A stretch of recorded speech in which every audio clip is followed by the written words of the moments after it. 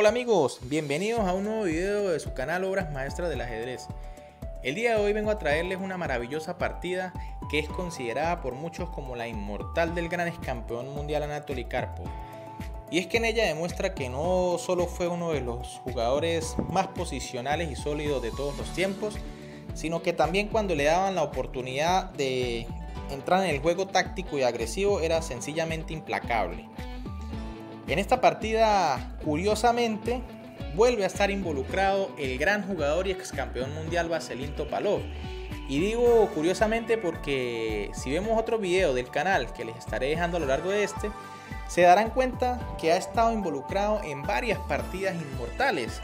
Por ejemplo, tenemos la que jugó contra Gary Kasparov en el año 1999, aquella partida impresionante que le ganó el gran Gary Kasparov que es considerada por muchos la mejor partida que jugó Kasparov durante su carrera.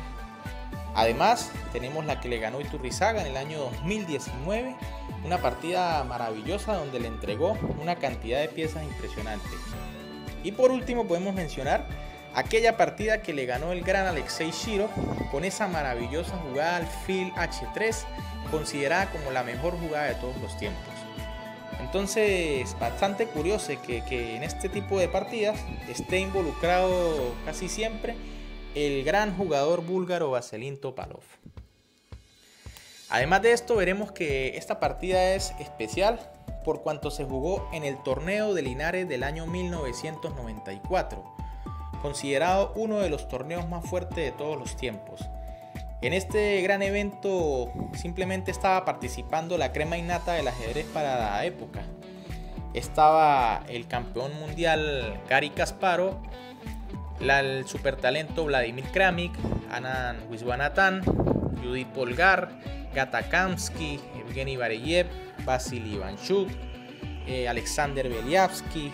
Simplemente era una nómina impresionante. Y de las 13 rondas pautadas, ya que era un torneo round robin, el gran Anatoly Karpov realizó un total de 11 puntos. Invicto, es decir, 11 puntos en 13 partidas, quedando a 2.5 puntos de distancia del segundo lugar que ocupó el campeón del mundo Gary Kasparov. Entonces vemos que en este torneo Karpov estaba simplemente inspirado y lo vamos a comprobar con esta maravillosa partida.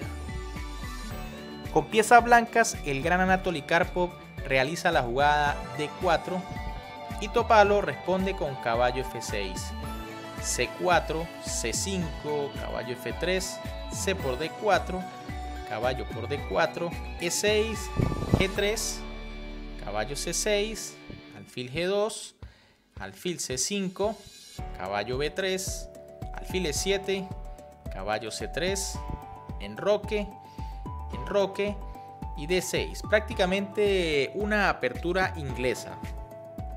Alfil F4, caballo H5. Ahora el plan de Topalo va a ser eliminar la pareja de alfiles para posteriormente tratar de abrir la posición y aprovechar esta pequeña ventaja en posiciones abiertas. E3, caballo por F4, E por F4, alfil D7, dama D2, dama B8, torre F1, G6 y H4.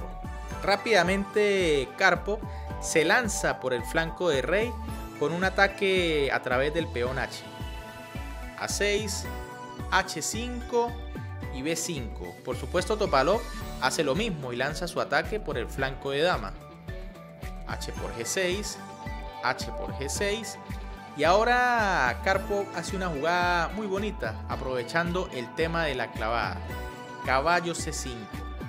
Fíjense que si el peón captura el caballo, que fue lo que pasó en la partida, el alfil de D7 está completamente indefenso y va a ser capturado por la dama blanca.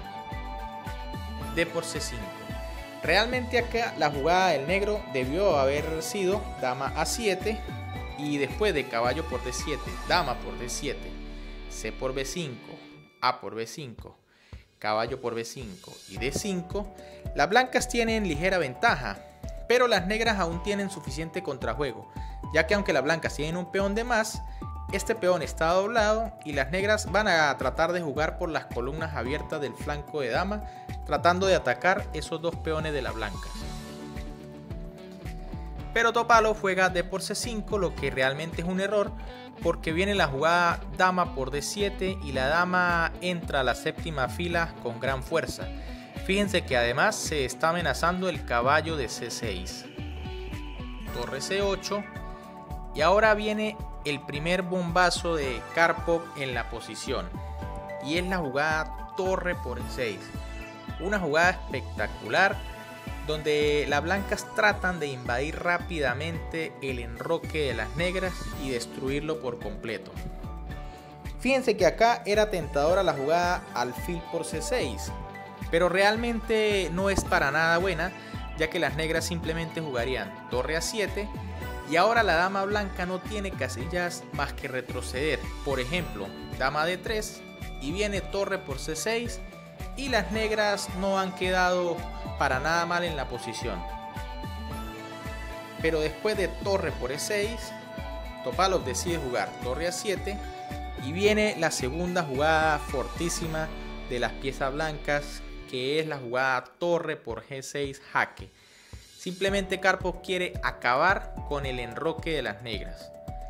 F por g6, dama e6 jaque, rey g7 y alfil por c6. Fíjense que ahora las blancas tienen calidad de menos, pero a cambio de ello tienen dos peones y suficiente compensación ya que sus piezas se encuentran muy activas. Torre de 8, C por B5, alfil F6. A Topalo realmente no le importa mucho el material, lo que quiere es tratar de activar sus piezas lo más rápido posible. Caballo E4, alfil D4, B por A6, dama B6, torre D1 y dama por A6. Fíjense que ahora las blancas tienen tres peones por la calidad sacrificada y mucha actividad de piezas. Y además de eso, ahora viene otro golpe magistral del gran Anatoly Karpov y es que realiza la jugada torre por D4 sacrificando una segunda calidad. Utilizando un tema conocido como es la aniquilación de la defensa, porque fíjense que el alfil desde D4 era una de las pocas piezas que ayudaba a su monarca, puesto que vigilaba la apreciada casilla F6 que está siendo vigilada por la dama y el caballo. Luego de torre por D4 viene la jugada dama F6 y ahora el rey se encuentra en una red de mate muy peligrosa. Además que el peón de G6 va a caer rápidamente. Rey G8, dama por G6, rey F8, dama E8 jaque, rey G7, dama E5 jaque, rey G8, caballo F6 jaque, rey F7, alfil E8 jaque, rey F8, dama por C5 jaque, dama D6, dama por A7, dama por F6. Ahora fíjense que el blanco tiene nada más y nada menos que 5 peones por la calidad. Simplemente la ventaja material con la que ha quedado Karpov es impresionante después de unos golpes tácticos magistrales. Después de las jugadas alfil h5, torre d2, b3, torre b2 y rey g2, el gran Vaselín Topalov decide dejar de sufrir porque es que la ventaja blanca simplemente decisiva. No hay mucho que hacer contra esa cantidad de peones, además de que el alfil y la dama siguen siendo terriblemente agresivos. Bien amigos, entonces ¿qué les pareció? Una partida impresionante de Karpov en uno de los torneos más fuertes de la historia. Si te gustó el video te invito a que te le des un like, que te suscribas y que compartas con todos aquellos entusiastas del juego ciencia. Un saludo para todos y nos vemos en un próximo video.